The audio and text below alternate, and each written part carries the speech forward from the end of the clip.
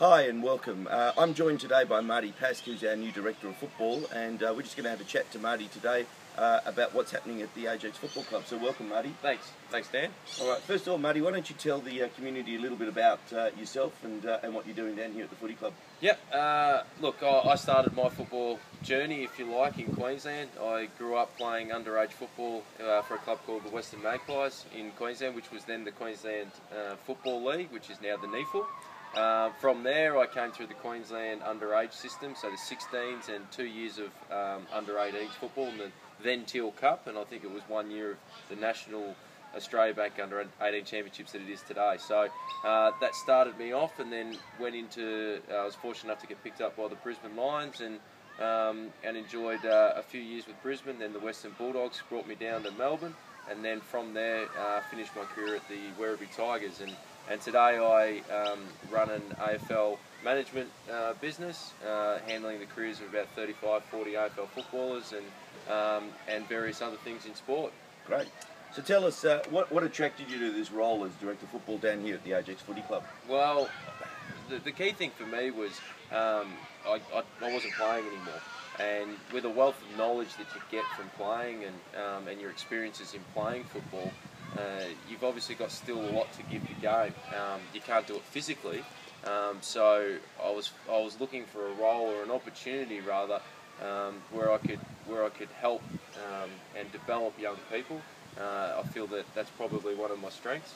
Uh, so that was one thing that really excited me was working with a lot of young men, um, and obviously the committee impressed me as well, and, and felt that I got along well with them. So for me, it was an opportunity to get back into football, uh, learn something new, which is coaching. I haven't coached before, uh, but certainly I, I know football. I have the understanding of football, I have the knowledge, and and managing people day to day is what I do is uh, is something that's not foreign to me um, and I feel very comfortable with. Excellent. Well, I think you've spoken to us about your philosophy when it comes to football. So why don't we jump into what you're doing with the under 17s in your coaching role? Tell us a little bit about that. Well, I guess the best thing to describe the under 17s and, and what you'd hope to have as a football club is that the next the next level up is senior football. So what you're hoping is that you're developing them and there's a process that you're going through where they're understanding what the expectations are uh, if they want to go on and play senior football uh, with the Ajax, um, which are in B grade at the moment. So we want to understand that that's the next level. Uh, they need to understand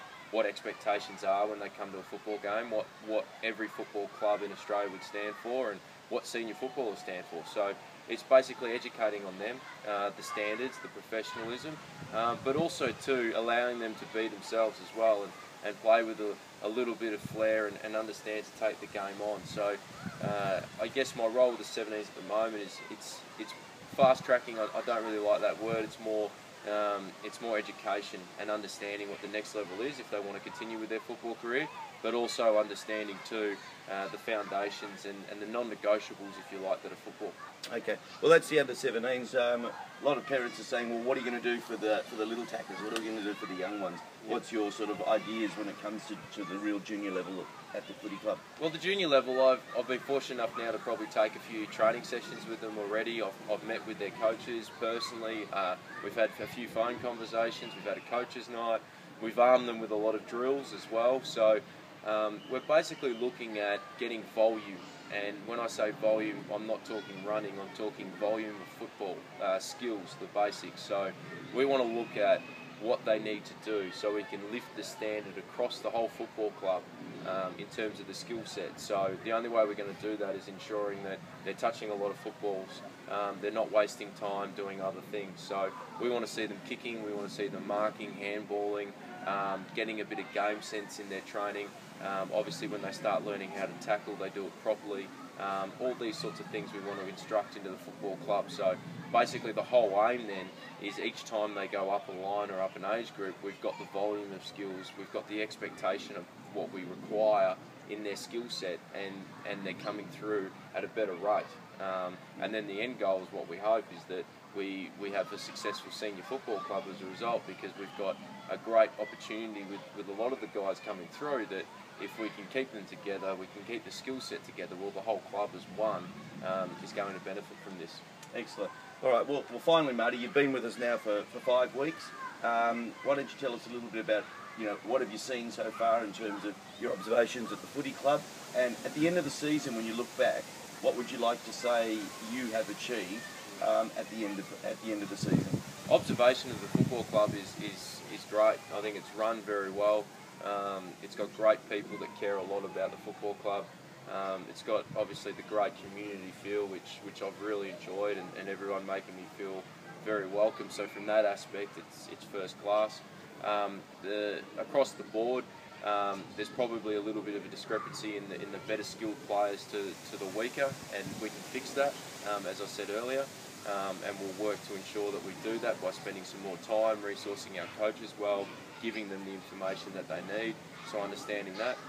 And then looking back, uh, oh look, I mean, it's an interesting one and one that we've got to probably start looking at is, is our focus and, and, and what is what do we as a football club want to stand for from a junior level? And I guess from where I sit I'd like to look back and go how many players have we developed? And, and how many players have we developed to go up the next level whether that's up to 16s up to 17s up to senior football and um, certainly from my end with 17s I'd love to think that we've got half a dozen players that we've developed that can then go on to the under 19s or reserves or even senior football straight away.